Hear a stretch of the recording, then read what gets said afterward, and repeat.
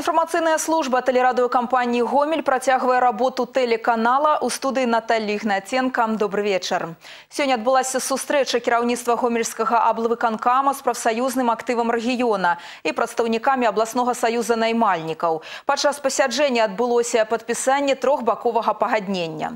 Дакумент на бліжэйшыя тры гады вызначыць шляхі ўзаемадзеяння абласных выканаўчых уладаў, прафсаюзаў і саюза наймальнікаў у сферы сацыяльна-працоўных зносінаў. Спектр пытанняў, якія адлюстраваны ў пагадненні, шырокі. Развіццё сацыяльнага партнёрства, эканоміка, ахова працы, экалагічная бяспека, развіццё рынка працы, маладзёжная палітыка і шмат іншага. Трехстороннее соглашение, оно имеет цель общую для всех наших трех сторон. Потому что основная цель – это стабильность создавания, это благосостояние работающих – это достойная заработная плата. Абавязкі і гаранты, прадугледжаныя пагадненнем, будуць уключацца ў калектыўныя дагаворы на прадпрыемствах і ў арганізацыях. Падчас распрацоўкі дакумента ўлічвалі інтарэсы ўсіх бакоў, правялі шэраг пасяджэнняў. У выніку атрымалася прыйсці да кампрамісу па ўсіх пытаннях. Прычым падпісаная рэдакцыя пагаднення не з'яўляецца канчатковай. Как минимум два раза в год э, совет по всем этим вопросам, которые у нас существуют. Он обязательно рассматривает все возникающие вопросы. При необходимости вносим корректировки значит, с учетом мнения каждых из сторон. Сёння ў калінкавічах урачыста адкрылі помнік землякам, якія загінулі падчас вялікай айчыннай вайны. Пакуль на стэлах прозвішчы 452 чалавек, але работа па ўдакладненні адпаведнага спісу будзе працягвацца. Нашы карэспандэнты азнаёміліся з ваеннымі старонкамі мясцовай гісторыі. Новую экспозицию, прысвечаную Великой Айчыннай вайне, у калінкавіцкім дзяржаўным краязнаўчым музеі адкрылі да 70годдзя перамогі. Раней, кажуць, выстава займала адзін невялікі пакой і ўключала ўсяго некалькі дзесяткаў фотаздымкаў. Прычым сёння супрацоўнікі не толькі збіраюць экспанаты, але і размяркоўваюць іх па перыядах. Калінкавічы на пачатку вайны, барацьба з ворагам падчас акупацыі, вызваленне ў студзені 44 -го. Асобная ўвага землякам, якія змагаліся за радзіму. Іх фотаздымкі размясцілі на так званай сцяне памяці. Праўда, лічыць гэтую экспазіцыю завершанай пакуль нельга. У некаторых сем'ях не засталося фотокартак родных, некаторыя прозвішчы ўвогуле невядомыя да гэтага часу. Зараз з'яўляецца магчымасць выправіць гэтую ситуацию. Ежегодно находим новые факты, новые э, какие-то данные э, с помощью ОБД мемориала и с помощью работы с населением, оставшимся в живых э, ветеранами, родственниками. Постепенно, постепенно этот список увеличивается, и неизвестные страницы, и истории истории и неизвестные фамилии э, наших, э, я не побоюсь этого слова сказать, героев э, находят свое достойное место. Упершыню ідэя увекавечвання памяці ўсіх без выключэння калінкавічан, якія загінулі на фронтах вялікай айчыны, агучвалася яшчэ ў 60-х годах мінулага стагоддзя. Намер рэалізаваць праект тады падмацавалі установкай спецыяльнага каменя на цэнтральнай вуліцы. Але з часам аб ім па нейкіх прычынах забылі. Зноў да гэтай тэмы вярнуліся ў 2013. -м. Адкрыты помнік стаў сапраўды народным. Ахвяраванні на яго будаўніцтва зрабілі больш як 100 прадпрыемстваў і арганізацый рэгіёна. Амаль 100 мільёнаў рублёў сабралі мясцовыя жыхары. Члены ініцыятыўнай групы Надзея Балсуновская і яе муж Левонці, якія пачыналі рэалізацыю праекта, сёння прызнаюцца, яны, напэўна, самыя шчаслівыя людзі, бо ўсё атрымалася. Верили, и мы сегодня счастливы.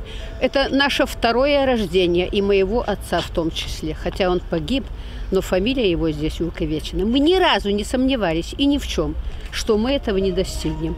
Потому что цель у нас была еще с юношеских лет – Мои дети, когда маленькие были, они всегда спрашивали, где наш дедушка, потому что у нас дедушки не было ни по папиной линии, ни по маминой.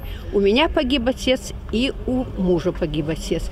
И поэтому наша главная цель была увековечить тех, которые ушли на фронт в борьбе с фашизмом и не вернулись с той войны. У сувязі з тым, што архіў мясцовага ваенкамата да нашага часу не захаваўся, спіс калінкавічан, якія загінулі на вайне, працягвае аднаўляцца. Зараз на гранітных стэлах 452 прозвішчы, але некалькі стэл пакінулі свабоднымі для новых прозвішчаў, якія будуць высветлены падчас далейшых пошукаў. Але сенцюрова Ольга Канавалава і Гармарышенко, тэлерадыокампанія Гомель з Калінкавіч. У гомельскім дзяржаўным тэатры лялек адбылося падвядзенне вынікаў маштабнай дабрачыннай акцыі ад чыстага сэрца 2. На ўрачысты канцэрт, які суправаджаўся ўручэннем прыемных падарункаў, а таксама іншымі цікавымі сюрпрызамі, былі запрошаны каля 200 дзяцей-інвалідаў. Аб тым, як праходзіла дабрачынная акцыя і аб яе выніках рэпартаж Веранікі Варашылінай. Раніцай пасля падвядзення вынікаў маштабнай дабрачыннай акцыі чыстага сэрца 2 супрацоўнікі тэлерадыёкампаніі гомель накіраваліся ў банк. Мэта візіту пералічыць сабраныя арганізацыі сродкі дзесяцігадоваму жыхару горада хойнікі Ягору Жукаву, якому неабходная наша агульная дапамога. Хлопчык пакутуе ад сур'ёзных хваробы кішэчніка. Зараз ён знаходзіцца ў гомельскай абласной клінічнай бальніцы. За час лячэння Ягору было зроблена 6 аперацый, аднак правесці аперацыю, якая паставіць яго на ногі, у нашай краіне не ўяўляецца магчымым магчымым. Яе гатовыя зрабіць у Ізраілі, аднак кошт у 80 тысяч долараў для сям'і жукавых з'яўляецца непад'ёмным. Менавіта таму супрацоўнікі тэлерадыёкампаніі Гомель вырашылі дапамагчы ім у гэтай няпростай жыццёвай сітуацыі. Існуе немало прыкладаў, калі дабрачыннасць і міласэрнасць неабыякавых людзей дазвалялі ратаваць жыцці. Дарэчы, аказаць сваю дапамогу хлопчыку можа кожны жадаючы пералічыць ахвяраванні на лячэнне Ягора вы можаце на дабрачынныя рахункі, якія зараз бачыце на сваіх экранах.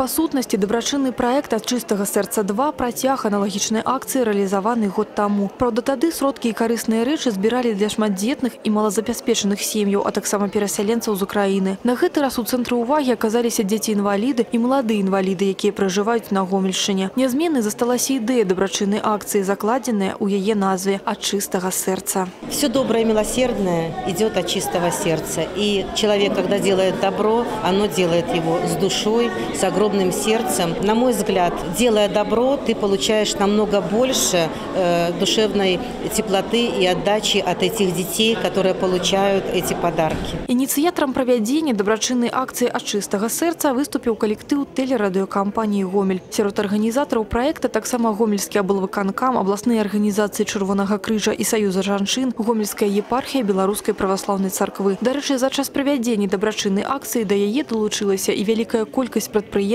і звычайных неабыякавых людзей самых розных куткоў нашай вобласці. Это характер нашего народа, это традиции нашего белорусского народа творить добрые дела. Наши эти акции направлены прежде всего на то, чтобы обратить в обществе внимание, то есть разбудить еще, может быть, кто-то, кто может оказать эту помощь, и вообще помогать своим близким, родным, соседям. На яскравы фінальны канцэрт дабрачыннай акцыі ў гомельскі дзяржаўны тэатр лялек былі запрошаны каля 200 дзяцей-інвалідаў. На сцэне для іх ладзіліся відовішныя вакальныя, танцавальныя і інструментальныя нумары. У выкананні артыстаў гомельскай абласной філармоніі і прадюсарскага цэнтра «Артбіз». Усе выступленні былі накіраваныя на тое, каб падарыць дзецям усмешку, добры настрой і частинку свайго душэўнага цяпла. Люди, которые встречаются с детьми, именно они отдают то доброе, что у них есть. Если мы детям вот с, с детства сделаем добро, конечно, они же и повзрослеют, они тоже будут делать добро. Не абмінулі ўвагы падчас канцэрту і самых актыўных удзельнікаў дабрачыннага праекту летась арганізатары акцыі заснавалі спецыяльную прэмію за вялікі ўклад у справу дабрачыннасці і актыўны ўдзел у праекце ад чыстага сэрца. Яго сёлетнія лаўрэаты атрымалі спецыяльна падрыхтаваны памятны сувенір-сімвал. Вся моя работа связана с работой с детьми, и когда я вижу со стороны общественности, со стороны государства повышенное внимание, желание заботиться об этих детях, помогать, вы понимаете, меня переполняет чувство гордости и за нас, взрослых, и за общество, в которых мы живем. Усім удзельнікам мерапрыемства ўручылі сотню мяккіх сэрцаў на памяць аб акцыі, а таксама прыемныя салодкія падарункі. Трэба адзначыць, за час правядзення дабрачыннага праекта ад чыстага сэрца 2 для дзяцей-інвалідаў былі таксама набыты гігіенічныя сродкі, мэбля і многія іншыя рэчы, у якіх яны мелі патребу. Я хочу сказать, что низкий поклон всем, кто создал эту акцию, а также тем, кто, у кого действительно такое большое сердце, которое может подарить от чистого сердца. Нашей семье вот был вручен сертификат на кухонный стол. У нас помимо Саши еще пять деток, поэтому нам кухонный стол будет очень кстати. Тем более мы только переехали в новый дом. Завершыўся вечар яркім феерычным фаер-шоу у выкананні тэатра агню атэш. Аднак арганізатары акцыі ўпэўнены, гэта далёка не фінальная яе кропка. На гомельшыне хапае міласэрных людзей, якія жадаюць аказваць дапамогу ад чыстага сэрца. А значыць, у гэтага дабрачыннага праекта абавязкова будзе працяг. Вераніка Варашыліна, Валерый Гапаньку, Евген Макеенко, тэлерадыёкампанія Гомель. Працягваем выпуск. Адна з задач абвешчанага ў 2016 года культуры адраджэнне і захаванне народных традыцый. І самы першы абрад, які на пачатку года выконваецца на тэрыторыі Беларусі каляды. За некалькі стагоддзяў у яго сцэнары ўнесены пэўныя змены, але сутнасць застаецца ранейшай. За правядзеннем абраду ў ельскім раёне назіралі нашы карэспандэнты. На вуліцы хоць і невялікі, але мароз у хатняй печы гараць дровы, а гаспадары чакаюць гасцей. Крадоўшчыкі па чарзе абыходзяць усе падворкі, і іх спевы гучаць па ўсёй вёсцы. Добры вечар таму, хто ў гэтым даму. Са старажытных часоў каляды былі адным з самых радасных святаў. Прыйшла каляда, ганаты на двор. Прыйшла каляда, ганаты на двор. Эй, калядніца, добрая вёсцы старая высокая паглядзець на калядоўшчыкаў на вуліцу выйшаў нават паўлін, які жыве ў мясцовай аграсядзібе. Хоць галоўная дзеючая асоба тут усё ж такі не ён, а каза, як сімвал пладавітасці і дабрабыту. Да таго ж лічыцца, што гэтая жывёла адганяе нядобрую сілу. Праўда, непасрэдна ў хату жывую казу не пусцілі. Тут яе ролю выканае пераапрануты чалавек. Увогуле ў ельскім раёне абрад калядаў называюць самым жывым. Калі тое ж купалля кажуць свята ў значнай ступені пастановачнае, то ў калядах прымае ўдзел усё насі насельніцтва, прычым з максімальным захаваннем старажытных традыцый. Упершыню, дарэчы, яны былі дэталёва вывучаны яшчэ на пачатку мінулага стагоддзя. Потым у абрад уносіліся пэўныя змяненні, але галоўнае засталося. Абрад каляды у нас ён па сутнасці жывы заўжды. Я і са свайго дзяцінства помню, што хадзілі калядаваць. Можа не так я яскрава, ярка, э, як кажуць, без пахвалы Христу, таму што рэлігія забаранялася, але ўсё роўна хадзіў народ калядаваць. Дзеці бегалі калядаваць і заўсёды хваліліся мы школьнікі, Кожны э, у сваім класе а хто ж больш накалядаваў.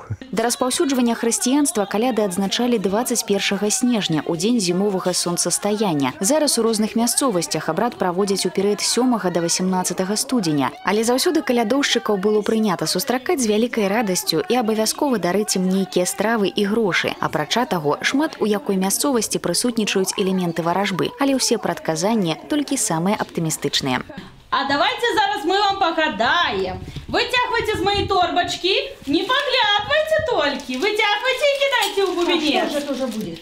Побачим, что у вас будет в этом ходе. Ох, и будет счастье вам богато, кольки грошей будет Ой, вам гроши за я люблю, на, моя А якое життя буде солодкое, и муж вас будет любить так соладко-соладко. Знаходжанне калядоўшчыкаў у гасцях заўсёды завяршаецца аднолькава песнямі і танцамі. Па сутнасці гэта адзін з самых вясёлых абрадаў на тэрыторыі Беларусі. А што тычыцца супрацоўнікаў старавысокаўскага цэнтра культуры і вольнага часу, якія выканалі абрад спецыяльна для журналістаў абласнога тэлебачання, то спыняцца на калядах яны не збіраюцца. 19 студзеня ў вёсцы правядуць абрад хрышчэння, таксама з захаваннем старажытных мясцовых традыцый. Олег Сенцюроў, Алеся Рудзянкова, Яўген Макеенка, тэлерадыёкампанія «Гомель», Ельскі раён.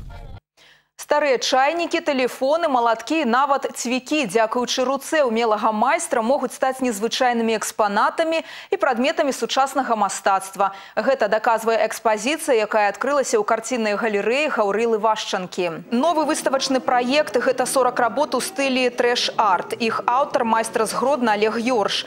Прадметы мастацтва ён стварае літаральна з хламу. У калекцыі можна ўбачыць карціны з цвікоў і калючага дроту, падсвечнік з лапаты ці драўляны велосипед велосипед. Раней усе гэтыя арт-аб'екты аўтар дэманстраваў пад адкрытым небам прама на вуліцах Гродна. Галерэя ў Гомелі стала першым месцам, дзе яго творчасць прадставілі гледачу цэнтралізавана. Представлены арт-объекты, сделанные из э, совершенно разных старых, уже давно отживших свою э, жизнь вещей. Э, сделаны они с иронией, с как бы совершенно разными посылами, но неизменно понятными и неизменно как бы легкими для прочтения. Гэтая калекцыя стваралася на працягу 15 гадоў. Пры гэтым Олег Ёрш займаецца калекцыянаваннем прасаў. У выніку яго фонд стаў асновай цэлага музея, які зараз рыхтуецца да адкрыцця ў Гродні.